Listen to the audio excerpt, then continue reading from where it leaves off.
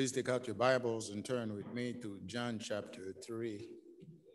John chapter 3, as we continue with our study and this wonderful text that uh, the Apostle John wrote for us. In John chapter 3, we will read for you the verses 8 to 16. This is the word of the living God. Verse 8 The wind blows where it wishes, and you hear its sound, but you do not know where it comes from and where it is going. So is everyone who has been born of the Spirit. Nicodemus answered and said to him, How can these things be? Jesus answered and said to him, You are the teacher of Israel and do not understand these things? Truly, truly, I say to you, we speak of what we know and bear witness of what we have seen, and you do not accept our witness. If I told you earthly things and you did not believe, how will you believe if I tell you heavenly things? And no one has ascended into heaven, but he who descended from heaven, the Son of God.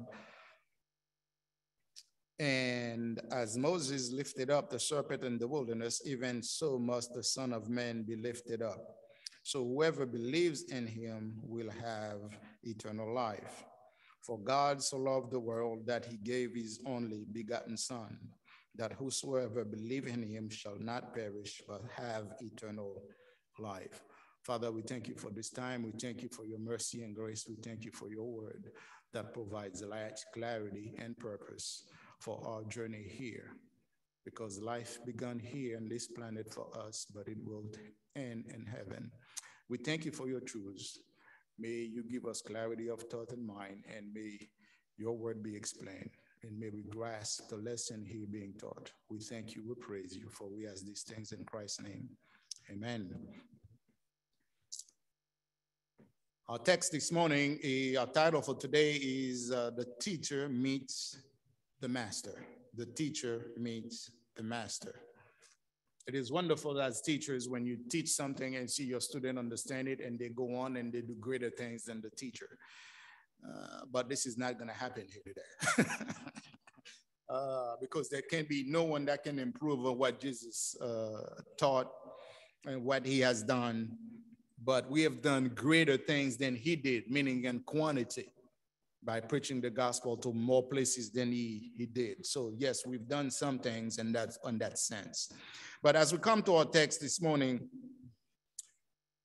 we, Thomas Watson, one of the Puritan, writes, quote, if we put Christ off with delays and excuses, perhaps he will come no more. He will live off persuading his spirit shall no longer strive. And then, poor sinner, what will you do? When God's uplifting ends, your woes begin, end of quote. Now is the accepted time. Now is the day of salvation. So this morning we come to the most popular verse in the Bible. Sadly, we live in a culture in which familiarity breeds contempt. Furthermore, just because this verse is popular, it does not mean that it is obeyed. Our text continues with a teachable moment between Jesus and the teacher in Israel. Nicodemus had everything going for him. He was educated, respected, and achieved the highest religious level in Judaism. He was the top teacher. No one was higher. He had the last word in all discussions. Again, keep in mind, his decision was final and he wasn't challenged. That is only for a time. because when they wanted to kill Jesus, you will see this here this morning. Things changed. Nicodemus' names means victory. He had the right pedigree, credentials, reputation, and success. Yet, Nicodemus was void of peace. He was empty inside. He was looking for satisfaction, gratification, consolation, and resolution. And this brings us to our three points we will be discussing this morning here the Messiah of God, the salvation of God and the teaching of God. Now let's look at the Messiah of God. The text says Nicodemus came at night to Jesus. Who met whom?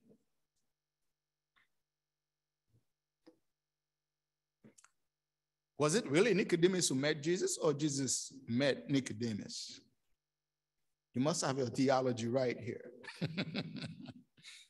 Nicodemus was lost. He was lost, meaning he was empty, he was spiritually dead. So, who found him? Whom? Nicodemus was found by Jesus. Why? How can you say that? Well, when did Jesus know Nicodemus? In eternity past. That night, the same day with the woman at the well. The scripture tells us Jesus had to go to Samaria. What do you mean Jesus had to go? He didn't need to go. He's God. He doesn't need to do anything. But because there was a soul and a balance, he went. It's the same thing here in our text this morning. Nicodemus comes at night, but it was the Holy Spirit of God was beckoning Nicodemus to come, was telling him, You need to go.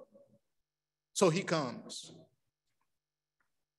So when you, when you understand the sovereignty of God in the text of scripture, it wasn't Nicodemus who decided to follow Jesus. We sing this song and it's theologically incorrect. You cannot decide to follow Jesus. You are spiritually dead. When, when was the last time you were at a funeral? The coffin is open, in some cases, in most cases, it's closed. What can the dead person do? If one of them got up, what would you do? Most of you would make a new door here because you wouldn't stick around because it is not supposed to happen. It's the same way. People are spiritually dead, they cannot decide to follow Jesus. I know, but the, the, when the author wrote that song, I got to give him credit. That's not what uh, he meant. There was a different perspective, and but the culture had changed that. But let's still come back to Nicodemus. Why is Jesus seeking Nicodemus? Because God always seeks the sinner, because the sinner is unwilling, unable, and incapable to seek God. God, the Holy Spirit, is the agent that goes through the process of salvation. He is the initiator of salvation. Jesus sought Nicodemus because Nicodemus came, Jesus came to seek and to save that which was lost. And Jesus knew him in eternity past. So that night, it was for Nicodemus, it was by divine appointment that he came to meet with Jesus. Why? Because Nicodemus had no peace. He saw the works that Christ was doing. And as the top religious leader, he realizes on the wrong side of this. He's not involved with him. If he's not involved with him and he's doing all these good things, and they concluded the Sanhedrin 70 plus him, 71, and he was the, the last person to see. If they concluded the works that you do, you must be from God. If he's from God and I'm not with him, where did that put me? It's not, this is a smart man. Where does that leave me? I'm in the wrong camp. I'm the one playing for the wrong team. I need to be on his side. So he come to Jesus. He comes to Jesus. So, with all his knowledge and religious experiences, he was convinced that his soul was on the balance and that if he died, he would go to hell. So, he came to Jesus. Hmm. What about you? Do you have the peace of God? If not, you need to do the same. You need to come to Jesus. See, Nicodemus, he, he came seeking and hoping and inquiring about eternal life. Again, the question that is not in the text, but the main question here what must I do to be saved? Now is the acceptable time. Now, today is the day of grace, not tomorrow, not later. Now is the acceptable time. What about you? What will you do with Jesus? This is a question everyone has to answer. Everyone has to answer. As we continue in our text, we see in verse 7 Do not be amazed that I say to you that you must be born again. In other words, you must be born from above. As we expounded on this uh, last week, well, I'm not, I don't have time to go back to all that. But if you want more, more, you could go on YouTube and the message is there. You can, can look at the last one. But what we need to see here, that day, Nicodemus, Jesus placed Nicodemus in to a point where he had to decide, do I follow Christ or do I go to hell? When you witness to someone, you must put them on where they have to make a decision. Don't put, you put, you tell them they must make a decision and leave them that they deal with God. Scripture tells us, I put life and death before you. Choose life. Tell them what the best choice is.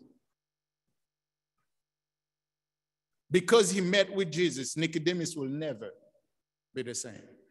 Beloved, when you meet with Jesus, you can never, never, ever be the same. You're either gonna become a believer or you are doomed in hell forever. These are the two options. These are the choices heaven or hell. This is why you must be born again. The story is told of a lady and when George uh, uh, Whitefield was preaching, and he kept telling people, You must be born again. So after the message, she went to ask George, Hey, listen, why you keep telling people they must be born again? And his answer is classic. He said, Madam, because you must be born again. what else could you add to that? Again, be sure, be very sure that you were born again. Don't tell me you go to church. I met a lot of people who go to church. And I don't mean they are born again. There are people who say, Well, I do X, Y, and Z in a church. That's not the answer. Are you born from above? Do you have a new heart? Is Jesus Christ your Lord and Savior? If not, you need to repent. You need to run to him. You need to come to him. When you look at verse 8 here, then Jesus continued to expound. He tells them that the wind blows where it wishes, and you hear its sounds, but you do not know it comes from where it is going. So it is for everyone who's born of the Spirit. What is Jesus saying here? The wind is controlled by whom? God. We see, we don't know where it's going. We see and appreciate the, the, the effect of the wind. This is the same thing with the Holy Spirit. We don't know where the Holy Spirit is coming from or, or, what he's doing. I don't know what he's doing in your hearts right now. We don't know what he's doing in the heart of the unbeliever either. But guess what? We will see the good works that the Holy Spirit is doing in your life. Because guess what? When you come to Christ, you're not going to stay stagnant. You're not going to stay the same. You're going to grow. You're going to do the good works God has foreordained for you before the foundation of the world. And you will do these good works. That's the work of the Holy Spirit. That's the work of the Holy Spirit. We don't see. Sometimes you make a decision and you look back and you say, Lord, thank you for making that decision 15 years ago because that was the best choice. Back then, the Holy Spirit led you. He knows all truth. He knows what's best for you, and He propel you to go make this decision versus that one. And when you're a child of His, He's going to work out all things. And that's the verse that boggles the mind. He's going to work out all things for our good and for his ultimate glory. He knows what's best. So we cannot control the wind. It's the same thing. We cannot control the Spirit of God. Human beings cannot control the Holy Spirit. The Holy Spirit does as he pleases.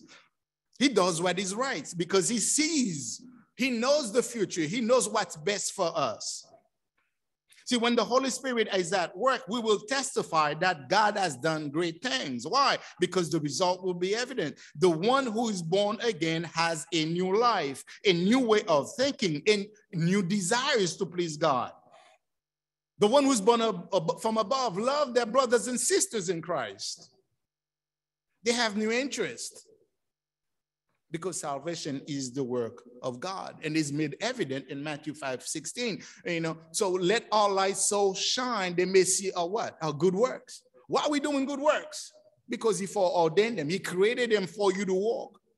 You got your own path that you are walking on. I can't worry about others are doing. All I can be concerned is the path that I'm on, and I must do the good works He foreordained for me and before the foundation of the world. And when you do them, guess what? Others see the good works. Who did they glory to? Not you. When they try to bring it to you, defer it because you deserve all of it. And that brings us to our next point here the salvation of God. See, we talked about the Messiah of God. Now we see the salvation of God. Salvation is by grace alone, through faith alone, in Christ alone, by scripture alone, for the glory of God alone. These are the five solas that went, changed the world, if you will, with the Reformation. Salvation, according to Titus chapter 2, verse 13, tells us it is the blessed hope in the appearing of, uh, of the glory of our great God and Savior, Jesus Christ. That's salvation. He came. And believe me, if he didn't come, what would we be today? There is only one way to be saved. That is through the finished work of Jesus Christ. This salvation of Jesus Christ is so rich and pure that God declared we have been justified. We have been made right with God. We have been redeemed, saved. Now we are forgiven. We are loved regenerated, set free in Christ from the penalty, first, from the penalty of sin. Second, the consequences of sin. And lastly, but most importantly, soon and very soon, from the very presence of sin. That is salvation. If someone doesn't have that, they are not saved. Salvation is being saved from the wrath of God to come. Because at some point in time, God will unleash his wrath on the wicked in hell. It is being saved now and from all eternity. Because when salvation has entered your heart, you are saved, secure, you are kept. And God will bring you home. Oh, this is so important. This is so important. You know, we see the US military at a, at a model, we bring all our men and women home, dead or alive. But at times, there's, they've forgotten some men. Talk to those who went to Vietnam.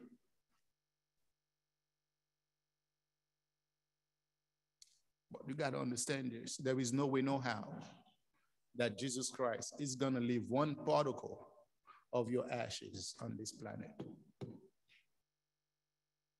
All of it will be transformed and it's going to bring you home because he paid in full for your death and mine. That's salvation. So one must believe, one must repent the gospel while one is alive, because after death, it is too late. One's condition is fixed at death. This author writes, quote, you can bury the man, but you cannot bury his sins. His sins will follow him and he will be judged accordingly, end of quote.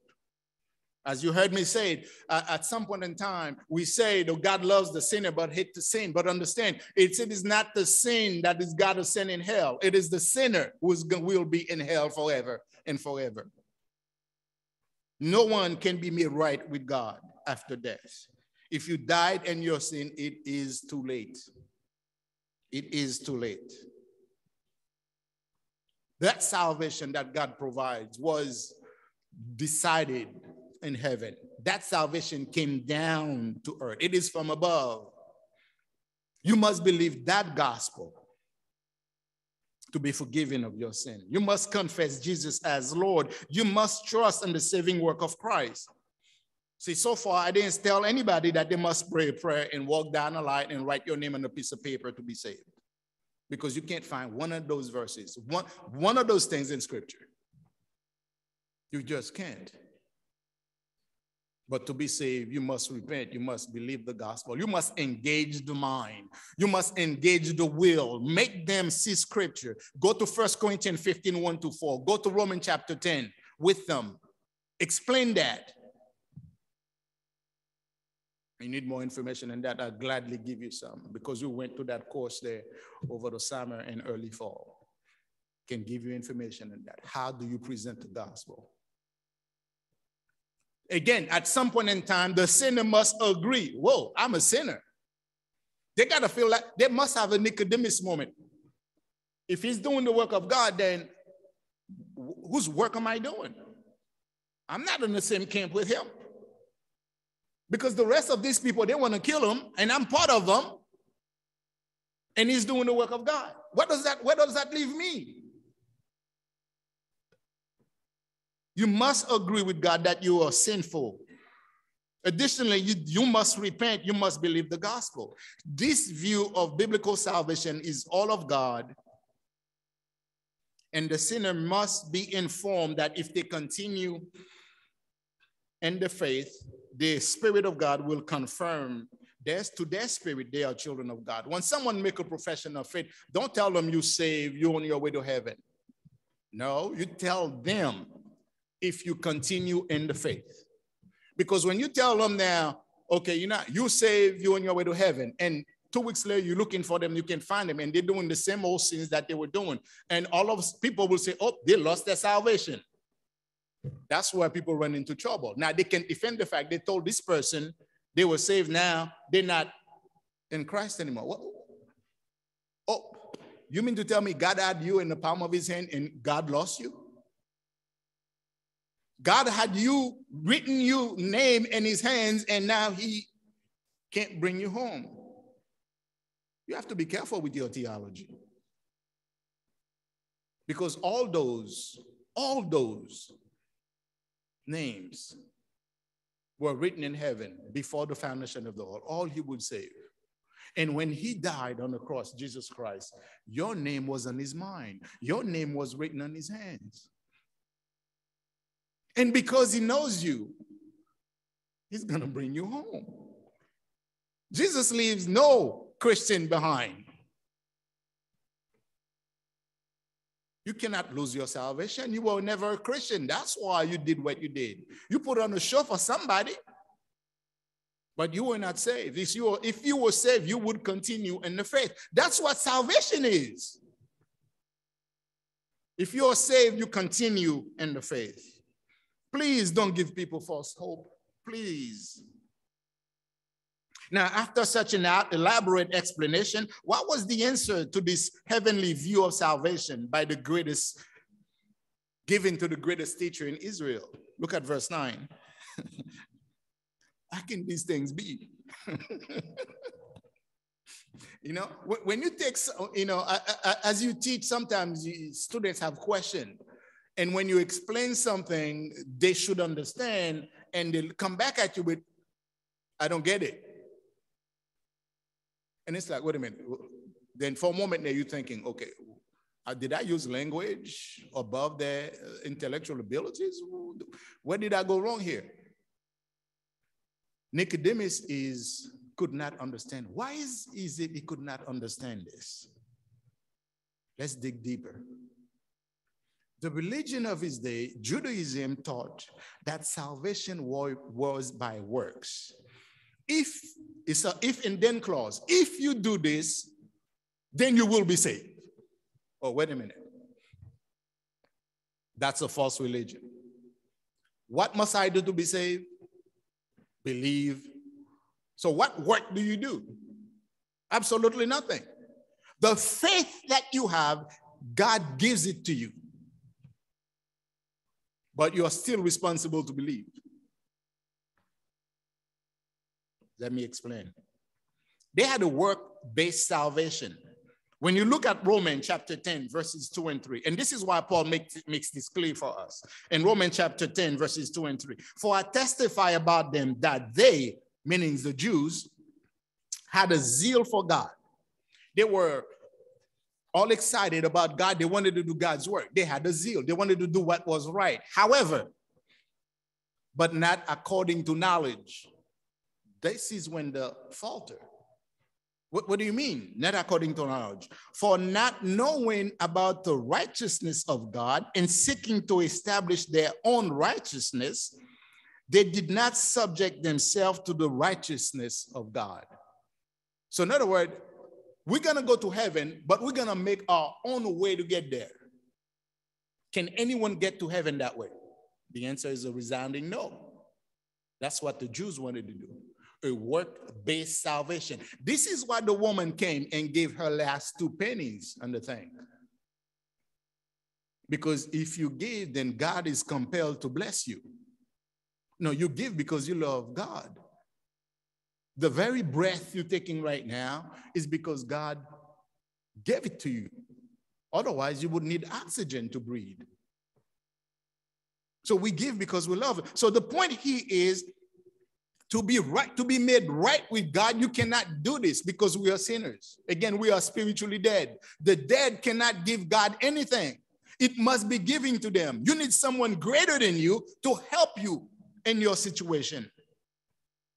So the Jews had got it, had it wrong. Salvation for them was through their own effort that they will be saved. They wanted a work salvation to their own means. They wanted to do this by their own bootstraps.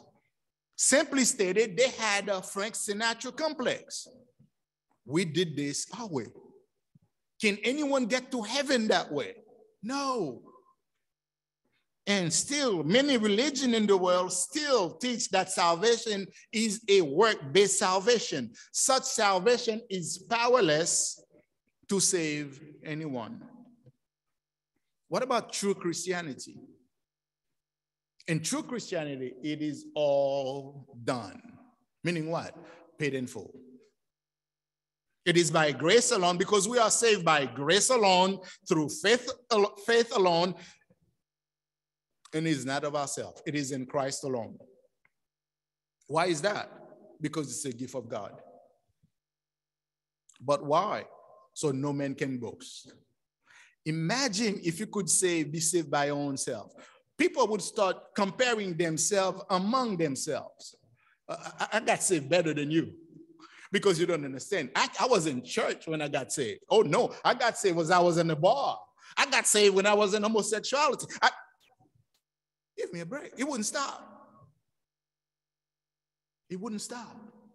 And this is why it's about it's by grace alone, to faith alone, and Christ alone for the glory of God alone. So no man, no woman, no boy, no girl can boast. So what do we do with Frank Sinatra? We throw that uh, CD out the window. We don't need it anymore. Throw it out the window. No one can boast. Get rid of your self sufficiency complex because you cannot save yourself. We need to turn to Christ alone to save you from your sin and this sinful generation. To be saved is impossible. Do you understand? A dead spiritually dead person cannot save themselves. And that was our condition before Christ. To be saved is impossible. It is impossible with men. But God is the God of the impossible.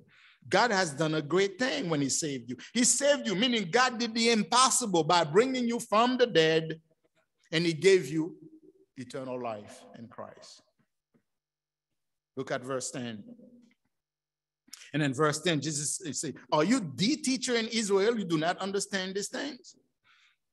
Jesus is not gonna uh, uh, let Nicodemus slide or get away with, with a false, uh, uh, uh, such a false understanding.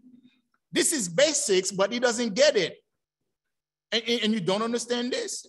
How was Abraham saved? By faith. How was David saved? By faith. The saints of the Old Testament, how were they saved? By faith. Acts 17, verse 30. Therefore, having overlooked the time of ignorance, God is now commending men that everyone everywhere should repent. Men everywhere to repent. How are the saints of the New Testament saved? How are we saved? By faith. In verse 31, because he has fixed a day in which he will judge the world in righteousness by a man whom he determined, having furnished proof for all by raising him from the dead. So, Old Testament, New Testament saints are saved by grace through faith in Christ. How? By the cross. Because the cross is the dividing factor that brings Old Testament and New Testament saints home the cross will always lead you home. Because they look at the cross back in the day into the future to get their salvation, and we look back at the same cross. And there we find peace. There we find salvation because it is in Christ we find such magnificent salvation without which no man will see God. So Jesus take Nicodemus deeper because he should be able to handle simple theology 101, understanding verses 1, 11, and 12. Again, when, when you look at the text, you see that the word believe, the verb is used at least seven times here in this chapter. This is the true significance of salvation. Salvation is by grace through faith, not from men, not a religion. It is of God, by God, and for the glory of God. The sinner must repent and believe. Believe what? Believe what Jesus said about himself. Not traditions, not one's false conception or presupposed understanding of the word, not what you want the scripture to say, but when God spoke, you have to get this. When God spoke, he did not hide his thoughts. He clearly stated his principles. His law is pure and perfect. And looking at verse 11, I've told you earthly things. I came down to your level to make, make you understand what I'm saying to you, but you did not believe. How would you believe if I begin talking about where I come from? Heavenly things. See, Jesus is bringing the point home. He's closing the case as a superb lawyer who have argued his case and is bringing his submission. Beloved, the reason why most people, most people do not love God, his word, and want to be saved, one word, unbelief. It's simply unbelief. See, belief is used against twice in this sentence. It has been said that unbelief is the cause of ignorance. Unbelief is the cause of ignorance. The word of Hosea the prophet in chapter 4, verse 6 reminds us My people are destroyed for a lack of knowledge. Why? Because they have rejected knowledge. If and when you reject knowledge, you will come to a point when you will do what is right in your own eyes. And this culture has come to that point. And at some point in time, then God remove his grace from you. And lastly, what happened to you? You fall into Romans 1. Now you have a reprobate mind. This is the result of the judgment of God on a country, a nation, a people. What was Nicodemus's problem? His problem was unbelief, his inability to grasp Jesus's word it was not his lack of intellectual capacity, rather his failure to believe Jesus' testimony. Sadly, it was not just him. The Sanhedrin failed miserably to believe Jesus' testimony, as stated in verse 11, as well as the people. You heard the saying, like people, like priests. Equally important, the man of God speaks for God and is ordained of God. Jesus tells Nicodemus in verse 13, no one has ascended into heaven. now, when you come to this passage of scripture, you, you, you got to slow down. In verse 13, no one has ascended into heaven. See, this verse should be should put most of the TV evangelists out of business who claim they had a vision, they saw Jesus, or they or they went to heaven, or God told them. All these false teachers are liars simply because of what Jesus is telling us here. Jesus clearly argues no one has ever been to heaven. Also, all religious leaders or system who claim that they had a special revelation from God are lying. Jesus sternly defends the fact that no one went up to heaven and returned and were able to talk about what they saw. Now you hear about near death experiences. And people survive and they write books about the moment, what they saw after. W- would you like me to save you some money this morning? Well, I'll do it anyway. Don't buy the book. Why? It's all a lie. It's all a lie. Because no one has ascended into heaven and were able to see and come back and talk about what they saw. Why? Two points. The authors of these books all have different views of heaven, they contradict themselves. If you came to my house all at different times, would your description of my house be different? No. My house is my house. These guys, when they write their views of heaven, they are all different. So they contradict themselves. So that has to be false. Because, second, scripture just told us they never had such experience because clearly no one has ascended, has gone up to heaven and come back and able to talk about it. Now, some of you are thinking, okay, what about Paul? What about Paul? In Second Corinthians chapter 12, verses 1 to 4. I'm glad you asked. Let's talk about that. Paul writes about this. It was, it is necessary to boast, though it is not profitable. But I will go on to vision and revelations of the Lord. I know a man in Christ who 14 years ago, that's a way of describing himself.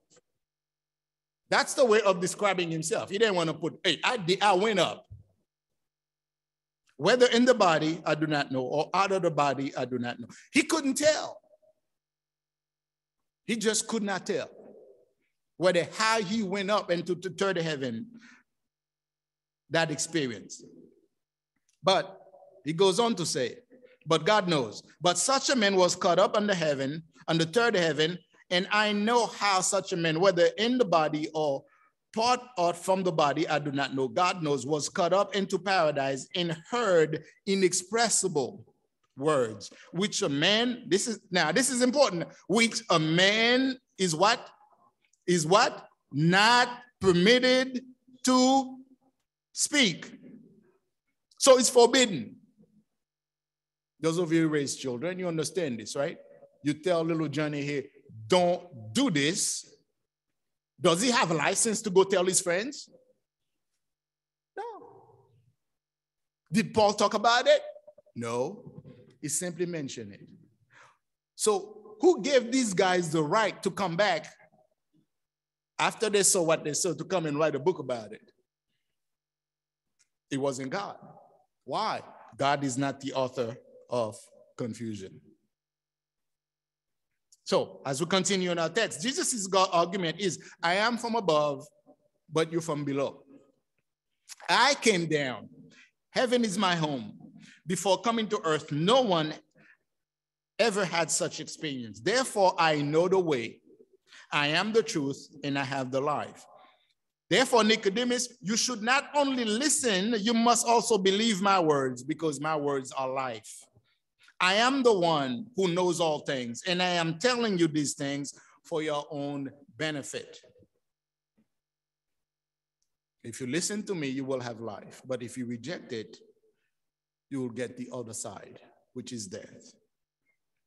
This morning we talked about the Messiah of God, the salvation of God, and now for our final point, the teaching of God. Why teach? Second Timothy chapter 2, verse 2. And these things that you have heard from me, entrust to faithful men who will be able to teach others also. Also give you other references here as well. When one teaches, one refutes, rebukes, correct, confront, exhort, encourages, exhort, provides clarity by teaching. Teaching is essential because in this text, Jesus confronts Nicodemus's flawed theological understanding about salvation and his unbelief, and he makes it plain for him to understand. This is why you teach. You take scripture, you break it down so people are able to digest what is being taught. In verse 14 now, Jesus correct Nicodemus' prior knowledge with new information. As the teacher in Israel, he should recall such a story As Moses lifted up the serpent in the wilderness, reference in 2 King 18, what was the end result of that? The people were healed when they looked at what? The serpent, and they were saved from death. So why is Jesus bringing that up? Because Jesus is connecting what you should know because it's going to add new information. You connect to what they know uh, and you connect it to new information so that you can have a greater understanding. Jesus gave this illustration. This is a prediction of how he would die. Also, the same way, all who look at the serpent were physically made well. The same way, all who would look on, on Jesus, on the finished work on the cross, and believe in him, repent of their sin, they will be made well spiritually. Wow. this is the difference between the teacher and the master. yes, Nicodemus, you have achieved, but understand, I know all truths. So you must come by faith. You must believe. Now notice verse 15. It's that whosoever believe in him will I have eternal, uh, eternal life. At this point in time, I think Nicodemus almost fell flat on his face because understand this. This is a negative answer, but it has a positive effect. Salvation will be richly provided for those who what? Believed, believe in Jesus Christ. As a result, they will get eternal life. Nicodemus' religion did, they look at it this way because it's a work-based salvation. When you said all who believe, Jesus opened the door for you and I. Do you see yourself here? You should. The door is open for all Jews, Gentile, anyone everywhere, every tribe, every tongue, every language. It's open to all. See, salvation will be richly provided, the everlasting life, and it begins when you believe. This salvation comes from the one who is from above, and he knows the requirements for, for living above. So, what does he do? He made payment for sin once and for all, for all those who love, excuse me, for all those who love his appearing. This salvation, listen to this, this salvation will never require an upgrade be updated, revamped, or need a polishing up. This salvation is perfect. This salvation is paid in full, complete, unchanging, and God approved it by putting his stamp of approval on it by raising Jesus from the dead. Now, keep in mind, John again is using this expression, eternal life, 10 times in his gospel. And Jesus will be as he, Jesus will die, Jesus will be taken out of the way. Just like the scapegoat. He will die outside the camp and make propitiation for sin. Jesus will pave the way for all who believe to have eternal life. This is why this salvation is so pure and rich. So one would ask then, what is eternal life? It is to know God, John 17, 3. It is a divine quality of life also, it is an eternal life. It is a qu quantity of life. It is a life, it is the life everlasting. See, we begin eternal life in Christ now. And one day we will have the full experience when our faith finally becomes sight.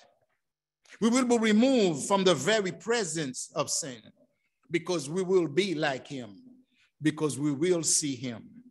See, eternal life is the life, uh, it has been said that eternal life is the life of God in each believer, and yet not fully manifested until the resurrection.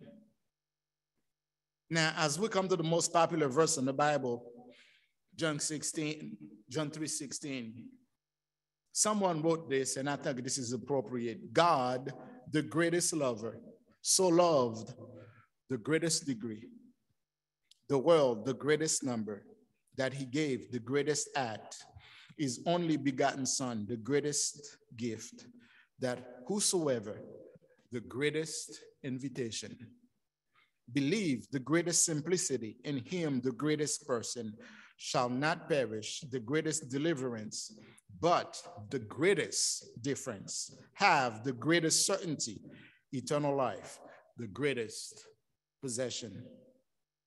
This is so appropriate. See, this familiar verse, unfortunately, is not well exposited by many. As Jesus unpacked this to Nicodemus, theological truth, he wants you to know and understand that salvation is for all people everywhere every tribe, tongue, and language, because no one ever love as God loves, nor will anyone will. If we are his children, then we must love as well and do as he does. Because salvation is not for just a few, the proud. It's for everyone. Everyone. The guy who's the homeless who sleeps on the street, the prostitute, the homosexual, it's for everyone. The undesirables, as some might call them, the troublemakers. Yes, even the politicians.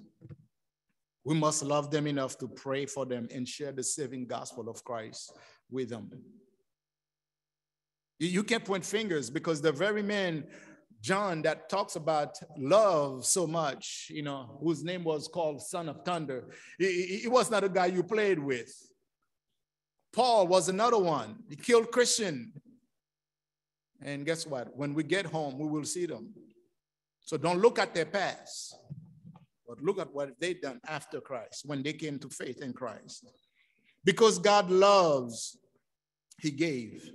Loves always give. Loves gives. God gave the very best heaven had to offer to a wretched, sinful, vicious, and cruel world, a world which could not comprehend the gift given. And what did they do? They killed the giver of life because their deeds were evil. And God changed the greatest good humanity, great changed it for the as the best and the greatest good humanity has ever known. What is it? Eternal life in Christ. Yet through it all, God provided a salvation for undeserving sinners. Jesus showed Nicodemus that salvation was not just for the, for the few Jews only, but it was for Gentile as well. Jews and Gentile have sinned, and they all need a great Savior who is able to pay for their sin. This was a shocking moment for Nicodemus, who grew up learning that Gentiles were created to be burned in the fires of hell. Jews were the good people, and they were heaven bound no matter what they did. You know, stories told that one uh, uh, early uh, centuries writer tells the story that uh, uh, uh, if one Jew is lost and is heading to hell, then Abraham would say, hey, hey, hey, no, no, no, no, you're a Jew. You, you, you can't go there. This is where you belong. He would stand there as the gatekeeper to guide the Jews in heaven. And Jesus says, uh-uh, that's not true. Jesus corrects Nicodemus' theology. Everyone must be born from above. Everyone must be born again. Everyone must repent and believe, whether Jew or Gentile. This is the good news of the gospel.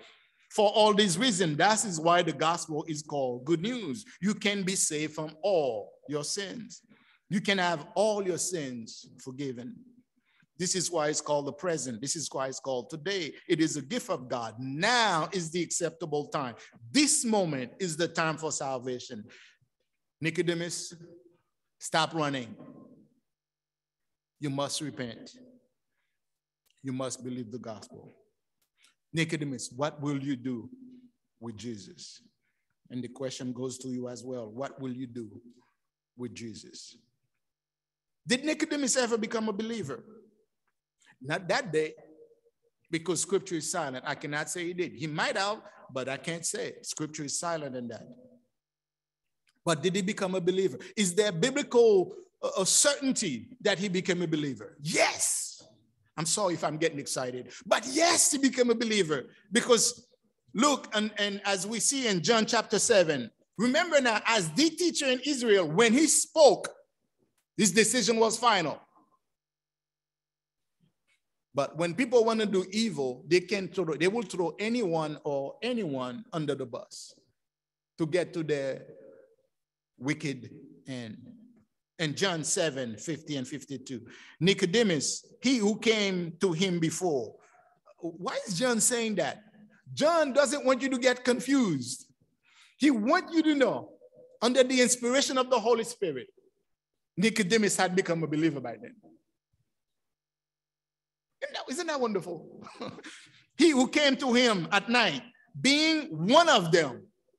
Uh, you see now, being one of them. There's a, something, there's a detachment that begins. There's a process of leaving this group and going toward the true Messiah of God. Being one of them, said to them, Does our law judge a man unless it first hears from him and knows what he's doing? He posed the question. Look at their answer. They answered him, Are you also from Galilee? Whoa. Search and see, this, see that no prophet arises out of Galilee.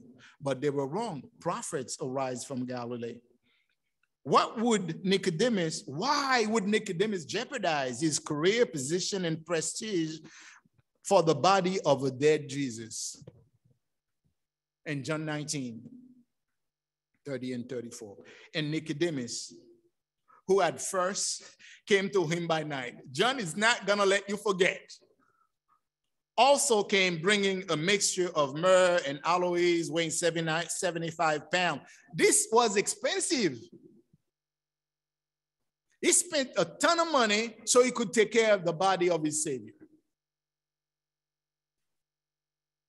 So they looked, so they took the body of Jesus and bound it in linen and wrappings with spices as a burial custom of the Jews. In life, he might have been a coward, but in death, he's gonna be as bold as bold could be because of his faith in the Lord Jesus Christ. Nicodemus would be kicked out of the Sanhedrin, the synagogue, and become destitute. He was rich because the system robbed from the people, but he was rich and many had many friends because of his faith in Christ. By grace alone to faith alone, he became a beggar. He became a beggar roaming the streets. And he died a poor man. He lost all his wealth and earthly possession in this life. And when he closed his eyes, he gained what this planet could not produce eternal life. And he heard those words Welcome, good and faithful slave. Beloved, John, uh, uh, James reminds us, count it all joy. I mean, no matter what we're going through. Nicodemus realized what a friend we have in Jesus. Have we trials and temptation? Is there trouble anywhere? We should never be discouraged. Or what peace we often forfeit, or what needless pain we bear. Can we find a friend so faithful who will our sorrow share? Jesus knows our weaknesses Beloved, salvation is by grace through faith and for the glory of God. If you have never repented and believed the gospel, trusted in Jesus Christ as the Lord and Savior, today is the acceptable time. Now is the time to run to Christ. You can have peace with God and have the peace of God. And Nicodemus did, and so can you. Bow with me in prayer. Man, please wait upon us.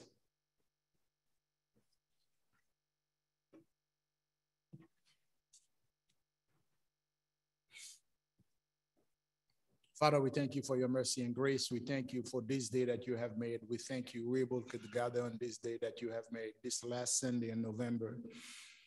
Lord, we there are many families who are traveling. Lord, we pray you would bring them home safely and grant them mercy to be rejoicing with their families and to be able to have this time of fellowship. Lord, thank you for all those who are able to come out this Sunday. Lord, be with them. You know their needs, Father. Meet us where we are. Lord, help us to continue this struggle called life. Help us to be faithful to the high calling of presenting this glorious gospel to those who do not know you. Lord, if there's anyone here this morning who do not know you, Father, don't let them hear. May they come and seek more information so they can know how to meet this Savior who still have open arms and is telling you to come. Lord, thank you for this place in which where we meet every Sunday and all those all the days of the week to do different ministries here. Lord, we pray you would be with us. Thank you for the musician how they played this morning and the worship worship you. Thank you for all those who are working with the children in the back. Thank you, Father, for all that goes on here. Father, we pray, may we continue to proclaim your truth to those who are in need of a Savior. In this small town, which has big city problem, Lord, may your salvation be proclaimed so others may come to know you as Lord and Savior. For this nation is in need of a great God, and you are, Jesus, that great God that can lead us out of this darkness of this starvation on the land for the teaching and preaching of your word. May your word be proclaimed to different means, different uh, churches as well, Lord. May people come to know you. We will praise you for the great things that you have done. Thank you for our different missionaries we support, Father. Be with them wherever they may be. And Lord, continue to support them. Help them so they can continue to keep the faith and walk the walk and present the gospel. It's a difficult challenge where this culture is thinks they know best. They have their own ways, their own truths. But your word is true. Your word is the word that provides a way home. Your gospel leads home because of the Savior who knows the way home. And he would leave the light on for us by bringing us home. We have no other means, no other way, but we have Christ and Christ alone. So, Father, we come to you rejoicing this morning, praising you for who you are. For indeed, this is the day that you have made. May we continue to rejoice and be glad in it. We thank you, we praise you, Father, for we ask these things in the saving name of our Lord Savior Jesus Christ, to whom we give glory and praise forever and ever. Amen.